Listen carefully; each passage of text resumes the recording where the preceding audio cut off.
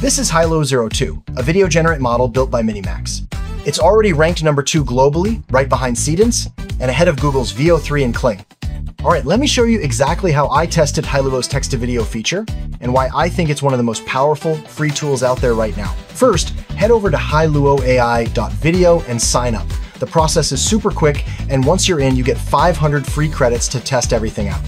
From the dashboard, click on the Video tab on the left and choose Text to Video. This is where things get really fun. Unlike other platforms that require reference images or templates, Hailuo can build an entire cinematic scene using just your words. So you type your prompt here, and I recommend being as visual and descriptive as possible.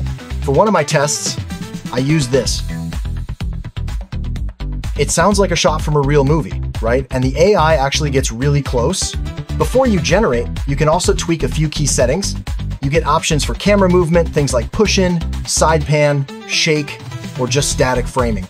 That alone adds so much variety. And here's something I love. You can choose your video resolution and length. Want a quick draft? Go with 768p at 6 seconds. Need something more polished? Switch to 1080p and 10 seconds. 512p videos in under 1 minute at $0.10. Speed meets quality. When everything looks good, just hit generate and let the model do the rest. It usually takes under a minute to render, and the output genuinely impressive. The characters are stable, the lighting feels real, the motion blur and shallow depth make it look like it came from a camera, not code, and if something's off, no big deal, just edit the prompt a little and hit generate again. So here's what I did next, just to be fair, and a little curious.